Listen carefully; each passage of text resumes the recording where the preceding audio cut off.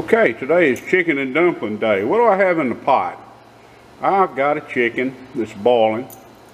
We added some salt and pepper, a stick of whole butter, and four bouillon cubes.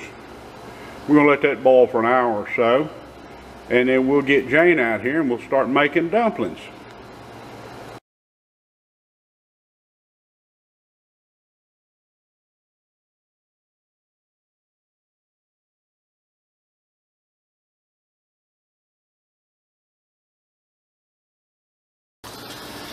All right, you stirred your wets, your dries together. And now I'm going to put in my Crisco, and I prefer butter flavored Crisco. I like to warm my spoon up a little bit under some hot water so it dips out.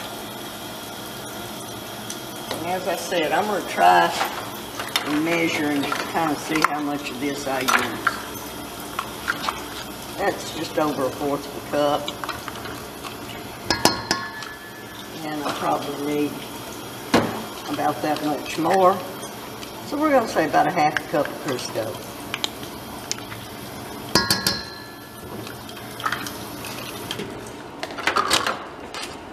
Now, I use a fork and I cut this Crisco in until it's very fine, just almost the consistency of cornmeal.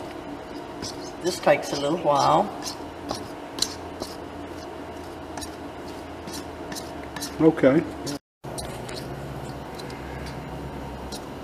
Okay, while Jane's cutting in the flour, I showed y'all earlier that chicken that we had boiled.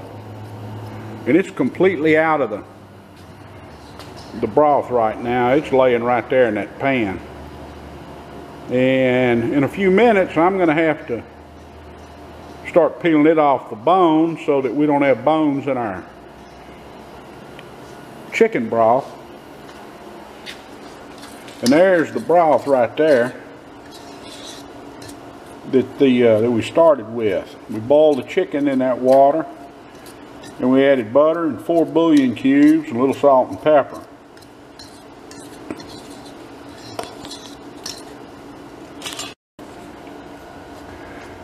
Okay, Jane's been cutting in her flour and her Crisco. Is it looking like it's about right, baby? It looks like it's about right. You want to get most all the lumps out. You may have a few small lumps. That's okay. But uh, if you have a pastry blender, that works real good to cut it in. I don't happen to own one, so a fork works just as well for me. And that's the way I've always done it. Okay, our broth needs to be very hot. It does not need to be a rolling boil because if it's a rolling boil, you will end up uh, boiling your dumplings apart. I'm going to flour my board. I use a Tupperware pastry sheet. I have washed my hands well. Want my board floured real well. Okay, I'm going to put about two cups of this hot broth into my flour mixture. That helps give them a richer flavor. Okay, now you don't use milk or anything like that. No, I'm going to add a little water to help moisten the rest of it. About two cups of your chicken broth. As I said, that gives them a rich flavor.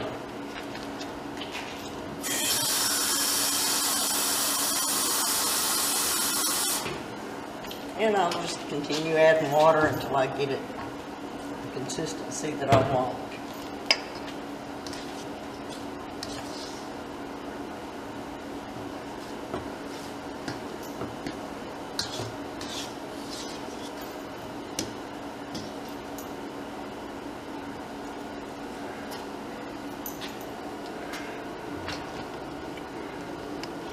What you looking for?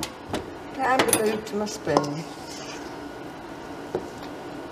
I still have a little dry flour in there, so I'm going to continue adding a little water. Is this fairly wet though? It's a, yes, it's a, a wet, soft dough.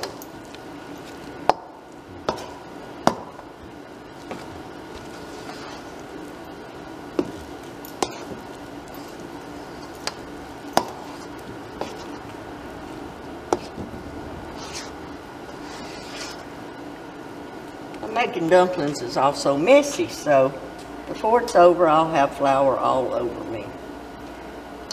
And we're gonna dump this out on our floured board.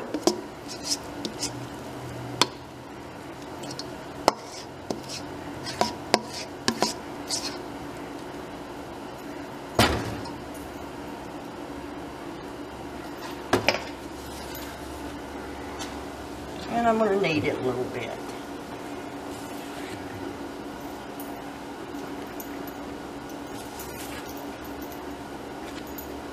Now, you started with four cups of flour for the basic dough, but you're adding flour in as you need, aren't you? Yes.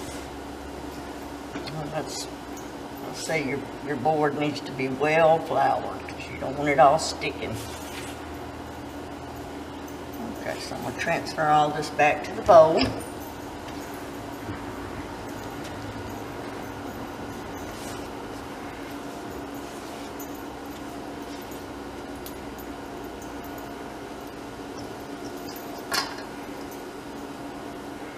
Get about a fist size, depending on how big your fist is. Mine's not very big. I'm just gonna pat that out.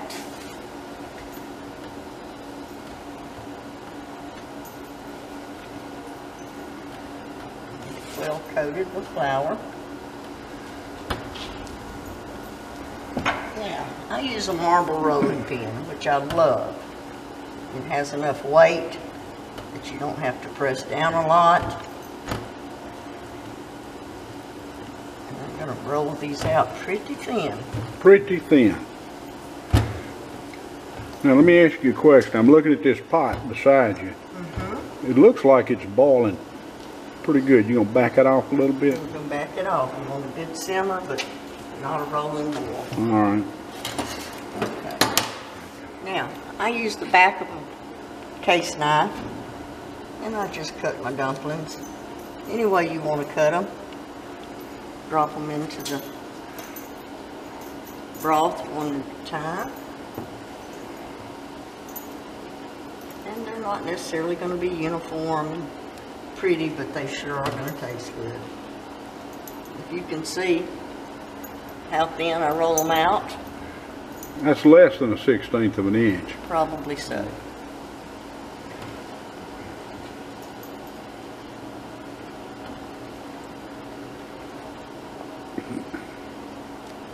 And you drop them in there one at a time. Mm-hmm. You don't want them to glob up and stick together and about the time they get to hot water, they're pretty well done. It doesn't take them long.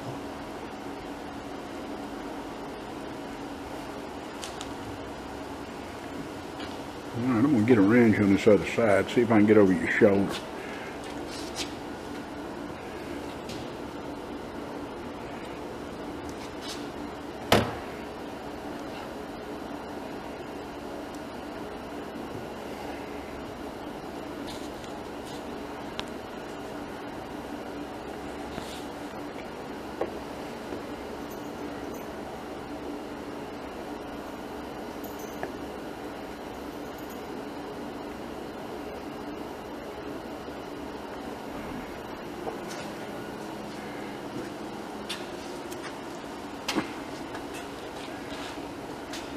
Now this is a little trick I've learned that I can do. After you do them a while, you can too. I can pick up three of them, twist them over and drop them in my pot.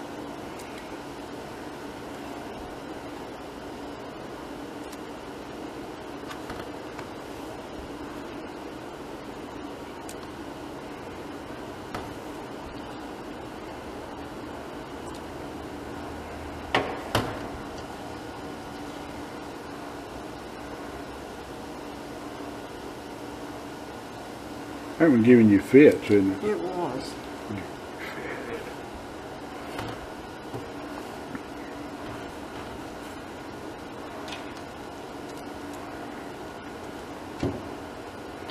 Okay, you get them where they're on top of each other and you need to stir, stir from the bottom of the pot gently. Do not stir them hard or you will break them up and eventually you'll have them all them together. And you'll have one big dumpling instead of a lot of little dumplings. Okay, now you're gonna pinch off another fist-sized piece mm-hmm. and do it again. Do it again. Well, I'm gonna turn this camera off and I'm gonna go peel that chicken, get it deboned, all right? Okay, I'm gonna do this until I use all of my dough. Well, we'll be back in just a few minutes.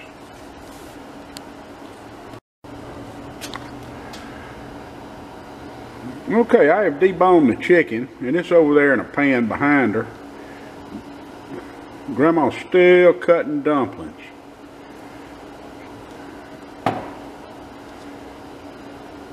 And you can see down in the pot. I'm sorry, baby, you saying something? I was gonna say, you can cut them as big or as little as you prefer. Totally up to you. Some people make drop dumplings, they like the big dumplings, I don't. I like the very thin dumplings, which is what my family seems to prefer.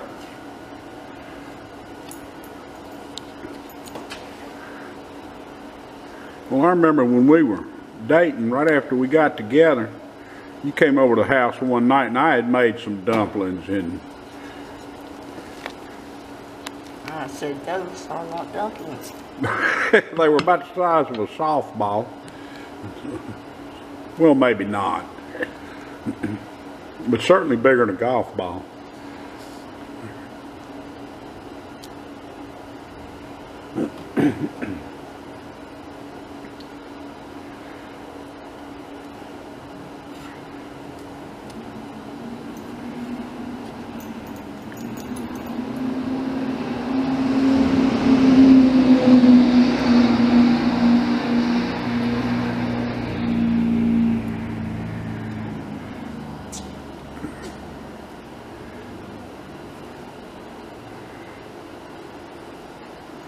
Now, when we get through, get all these in the pot, get that counter cleaned up, we're gonna put these in a crock pot, aren't we?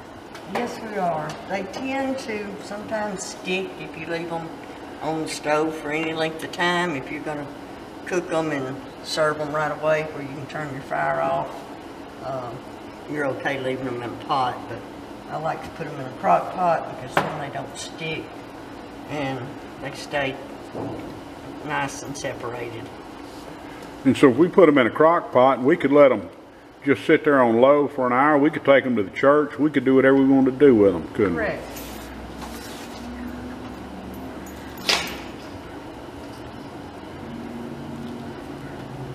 I have about three more to roll out. All right. This is kind of the time-consuming part is rolling them, and cutting them, and putting them in, in, in the pot. Okie doke. Right now. Hello. Hello. We're YouTubing this morning.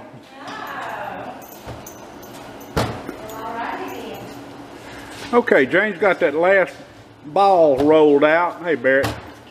Well, We're putting up a YouTube on how to do dumplings. I don't know anybody better to do the dump to do the dumpling YouTube video.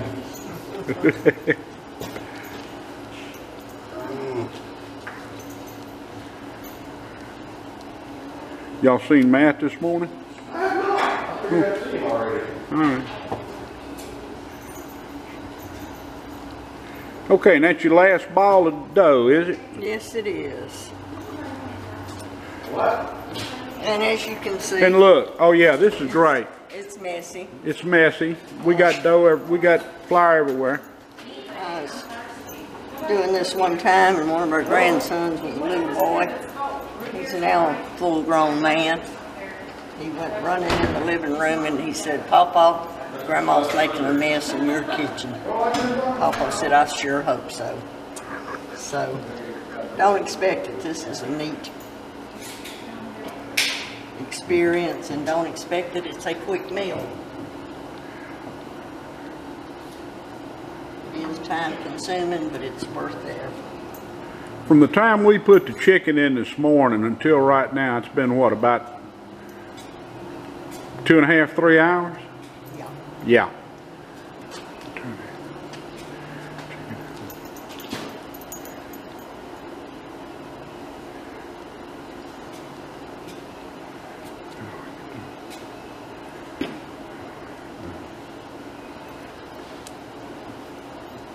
Hey, chill, take. All right, you back. You oversleep? Oh, I'm sorry.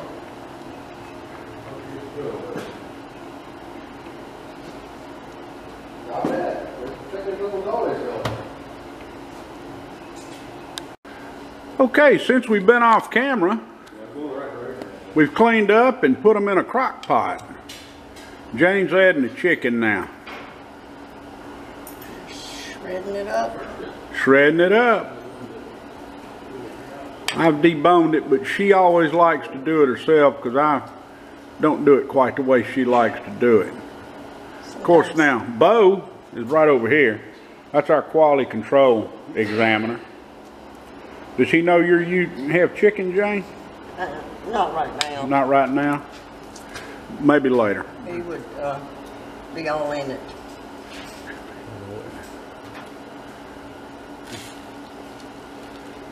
Oh yeah, that looks good, doesn't it?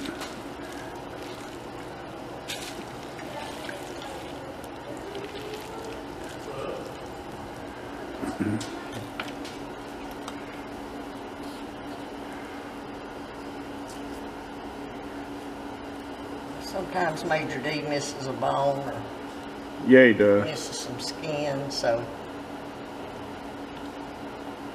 I do the quality control. Quality control. Okie doke. We are just about done with the chicken and dumplings. This is the final step. We got a big old pan of yeast rolls here. They looking good. Alright, I'm gonna turn this off. Okay. Alright, we're gonna let Lucas try the chicken and dumplings. It's good. They're good. Is that what you asked for? Well, there you go, Tiger. Grandma will make you chicken and dumplings. N O. N O. What do you think, Quinn? They fit to eat? Yes, very good. Oh, yeah.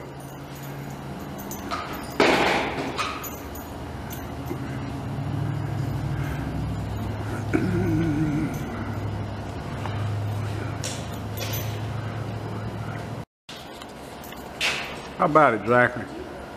Pretty good. Pretty good? Pretty good. Yeah, he's not even gonna look up. He's just gonna eat. It's not good.